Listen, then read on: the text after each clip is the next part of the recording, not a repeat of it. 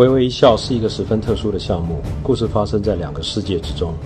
一个是我们熟悉的真实世界，一个是虚拟的游戏世界。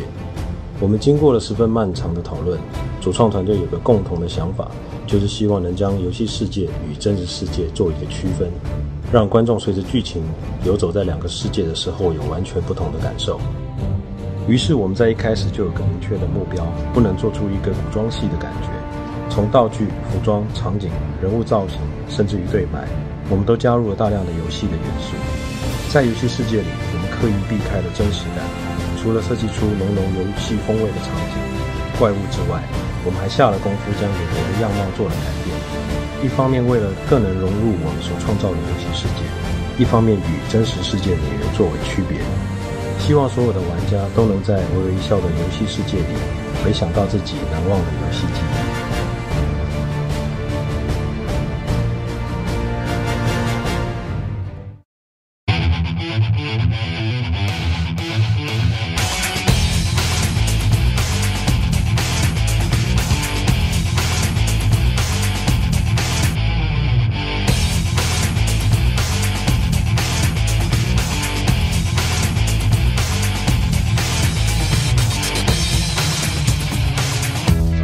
特效里面，呃，我们主要挑战有分为两个部分。那第一个部分呢，就是因为它是全绿幕的拍摄，所以我们必须要重建整个自然环境。呃，用到最多的部分，比如说有很多落叶啊，或者是河流，或者是一些呃在打斗时有一些破碎的部分。第二个部分呢，因为我们要在剧中呈现很多游戏的中的特效，所以我们必须要让呃这些特效在真实的环境中跟游戏中做一个平衡。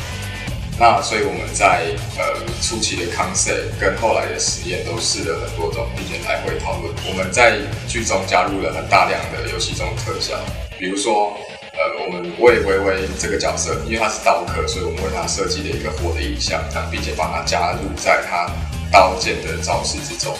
然后呃，像医者或者是魅者，我们都有为他呃量身打造他在游戏中的招式，并且把它放到剧中一个真实的环境当中。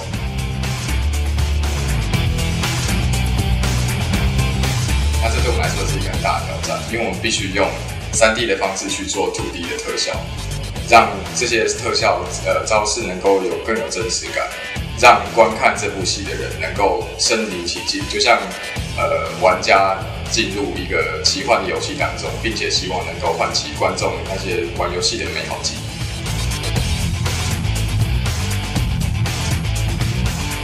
我们这边负责的部分是模型贴图以及材质。那角色部分我们会参照美术设定以及游戏中出现的样貌去制作。怪物的部分我们有针对皮肤的质感做刻画。在不同的光源环境底下，会有不同的呈现，像是有白天、黄昏或是晚上的不同的情境，我们会针对这些需求在角色上面去做调整。那道具的部分，我们有分两种，一个是怪物身上的稀居物件，另外一个是主角身上所使用的道具。那些有现场美术组制作的实体道具，当道具有飞行或是拍无法做到的动态效果。我们就会制作细菌模型来处理。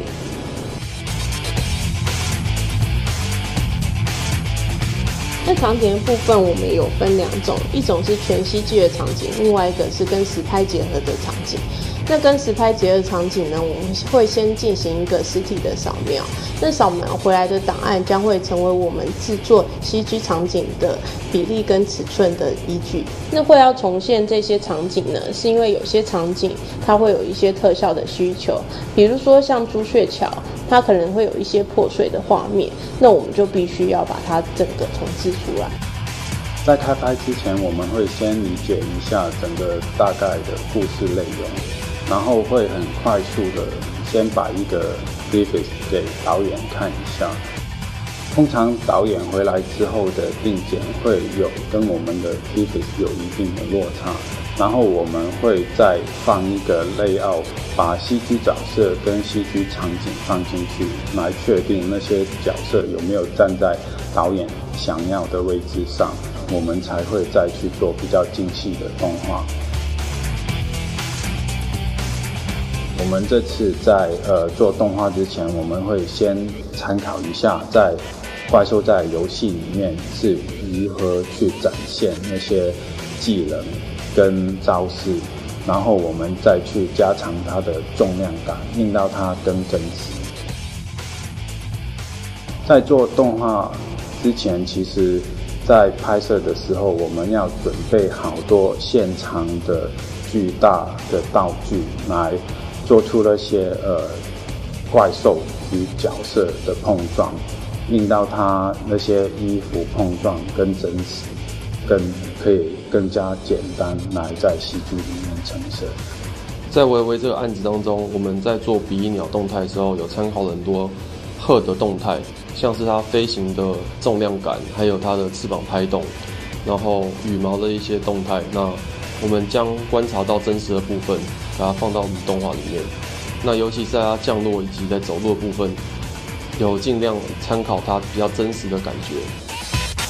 那小老虎呢？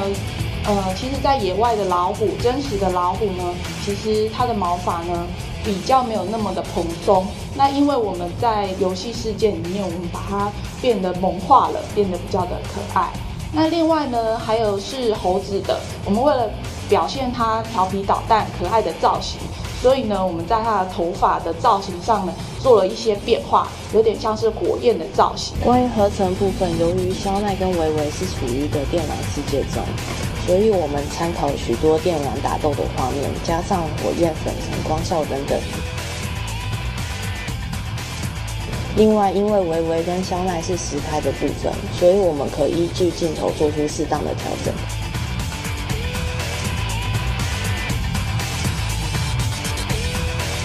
负责灯光跟算图的。他在灯光开始进行前呢，会先参考美术部门画的，然后看到这概念图之后呢，我会把把它的时序分成清晨。白天、黄昏或是晚上，然后会用一个 HDRI 来定义它暗面的颜色。那亮面的颜色，我们会再打另外一个主光，也是依照时序给它不同的色温。呃，角色方面以墨鬼王为例，那因为它时常在张牙舞爪，所以它牙齿的质感跟口水的透明感，我们都特别需要用灯光做出来。微微差这部连续剧啊，比较特别的地方在于它有实景调光部分，还有戏剧特效的调光部分。那一开始先处理的部分是实景调色，它它它讲的是一个青春校园喜剧，那所以部分在参考这几个面向之后，就是想要走比较清晰、自然、像青春的这种气氛吧。像讲到刚才在金银城一开场那一场角色，它有一个比较特别的点是。它是有时间点的过渡，它是从清晨将近破晓的那个时间开始做对打，然后一路会打打打打到日出。那一开始怪物的调色也是让它相对比较暗，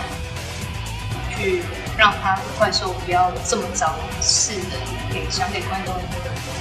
惊喜这样。所以到最后怪物整个出场的时候，就是微微已经跳上桥，那怪物。吼叫一声，那整个场景应该算是整个戏的一个序幕拉开了。